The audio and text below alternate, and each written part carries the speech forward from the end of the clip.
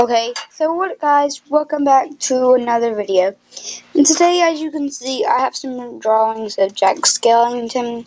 And as you know, I said that we would be starting um, a drawing video, or like a drawing series where our channel will be, where we draw a lot. But, I forgot to do that today. And I ended up drawing something really good. Two things that were really good that were the same picture, but one's colored.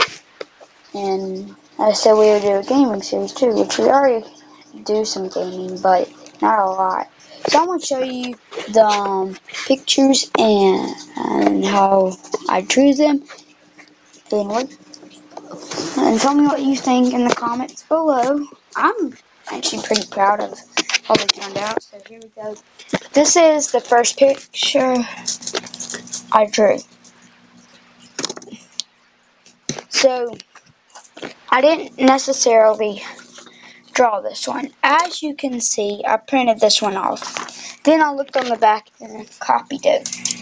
Then, I realized that I had drew on another piece of paper, and you could see where I, like, you could see the pencil marks. So I just went over those, and I came out with this. But I put the green stuff around it, don't worry. That one obviously looks better because it has computer done, computer work on it.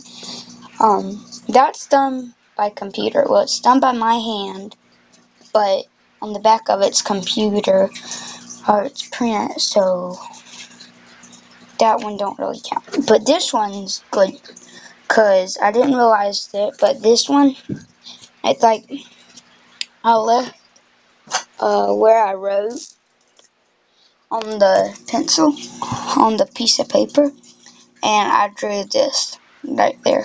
I drew this all Jack Skellington, and it even has my name, by Luke Brumley.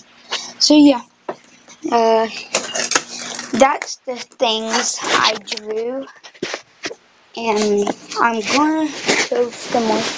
I'm gonna draw like another monster, but wait, yeah, it is. It's out of like a lot of movies, and and and I got a new Pokemon card. Well, I got a few. Well, I'll just show you the good ones I got. Okay, so let's start out with the first one, I guess. Okay, I got this break card, the Luxray break. Okay, so I got that.